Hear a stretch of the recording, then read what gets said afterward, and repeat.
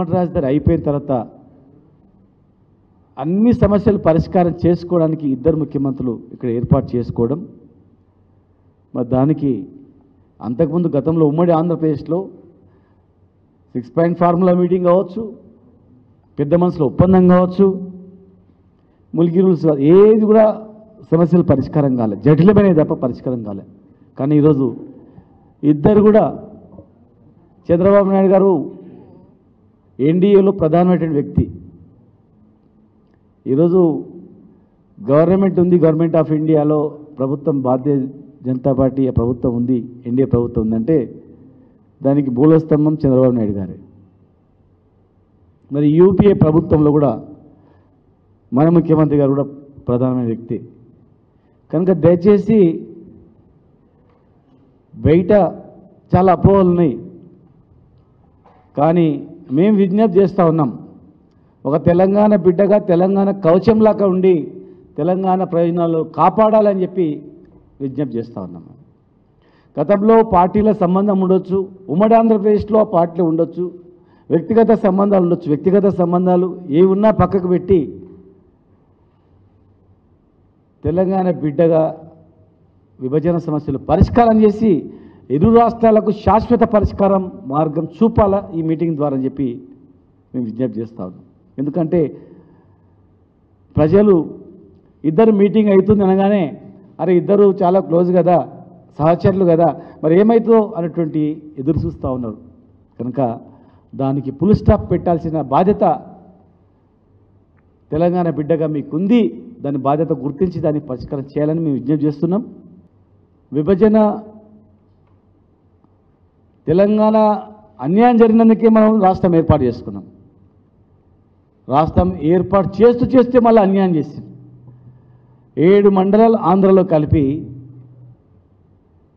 రాముడు శ్రీరామునికి అన్యాయం చేయడం భద్రాచలానికి అన్యాయం చేయడం అనేది చాలా ఘోరం.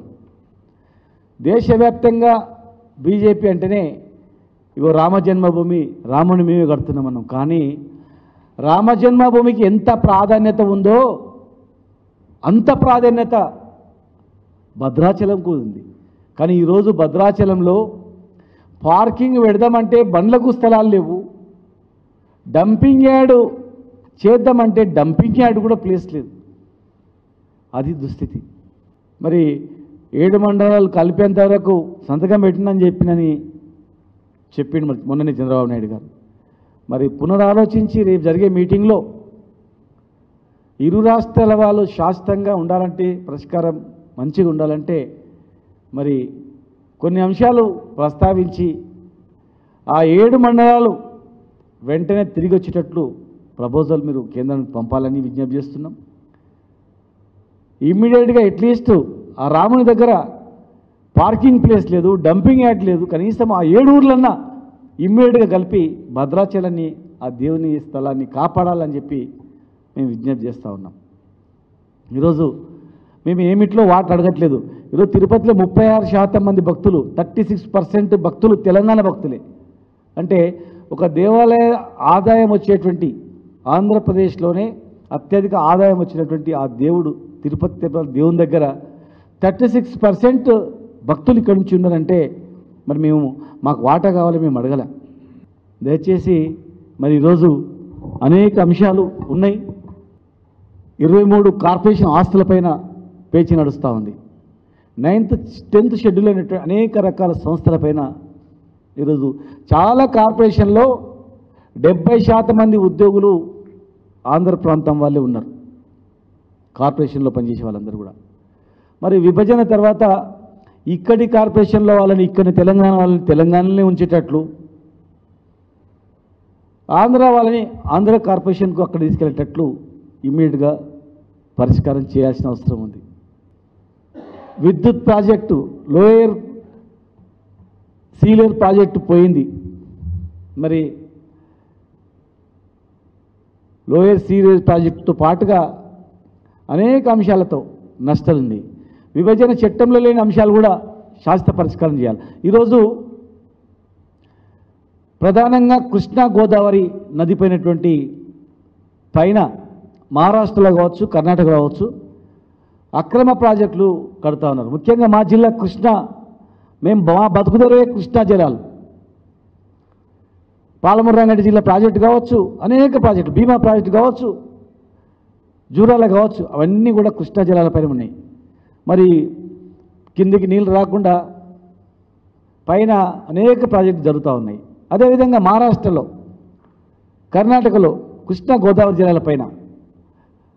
మహారాష్ట్ర కర్ణాటకలో ఉన్నటువంటి యూపీఏ భాగస్వామ్య పార్టీ కర్ణాటకలో ఎన్డీఏ భాగస్వామ్య పార్టీ మహారాష్ట్రలో ఉన్నాయి. మీకు సంబంధించినటువంటివి. మరి ఇరు రాష్ట్రాల ముఖ్యమంత్రులు కలిసి రెండు రాష్ట్రాల్లో ప్రధానమైన జీవనదులైనటువంటి కృష్ణా గోదావరి జలాల పైన కర్ణాటకల మహారాష్ట్రలో కడుతున్న ప్రాజెక్టుల పైన దృష్టి పెట్టి మీరిద్దరు కూడా కేంద్రంలో ఒత్తిడి తీసుకొచ్చి ఒత్తిడి కూడా అవసరం లేదు అనుకుంటే చంద్రబాబు నాయుడు గారు చెప్పిందంటే ఈరోజు ఏ పనైనా అది అయిపోతుంది. ఇమ్మీడియట్గా అవి రెండు రాష్ట్రాలు కూడా నష్టపోయేటువంటివి. కనుక ఈ రెండు రాష్ట్రాలు మనం కలిసి గట్టిగా మీరు కొట్లాడితే పైన అక్రమ ప్రాజెక్టులు ఆగిపోతాయి. మళ్ళీ మనకు నష్టం జరగదు. ఇంకా అనేక ప్రాజెక్టు ప్రపోజల్స్ వస్తూ ఉన్నాయి కనుక మీరిద్దరూ దాని మీద దృష్టి పెట్టి కాపాడాలని చెప్పి కూడా మేము విజ్ఞప్తి చేస్తూ ఉన్నాం.